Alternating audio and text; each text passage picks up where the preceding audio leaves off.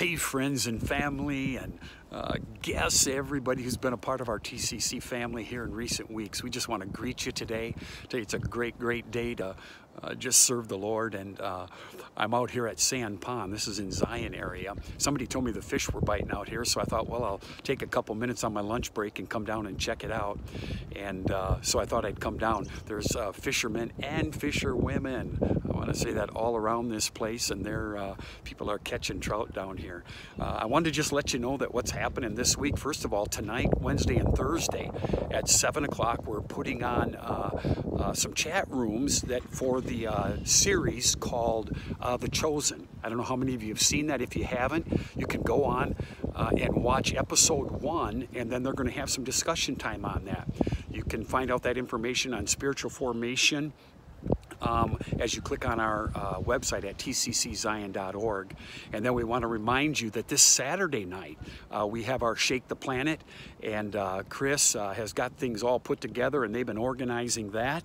And so you're going to want to join us at 6 o'clock for that. There'll be a Zoom opportunity for everybody to uh, be a part of that. And then on Sunday, we want you to join us again for part two of what do you do when the bottom falls out.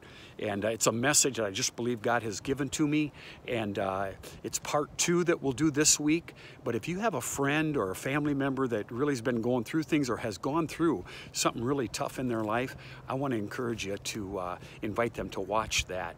And uh, I believe that God will bless them. Hey, if I don't know if you can see that guy uh, stand, standing behind me there. He's out on a picnic table. He just caught a beautiful 16 or 17 inch trout. It's a rainbow trout. It's beautiful. And uh, I couldn't help but think of the words of Jesus to Peter and his disciples when he said, Men, follow me and I will make you fishers of men. Can I just encourage you this week? Find somebody to encourage. There's somebody out there that could really use a word of encouragement from you and a prayer maybe that you could offer for them. All right? We don't know exactly when we're going to be back together in our church building, but uh, can I tell you this that uh, we still have great opportunities to glorify the Lord wherever we're at. And uh, we look forward to getting back together as soon as we can.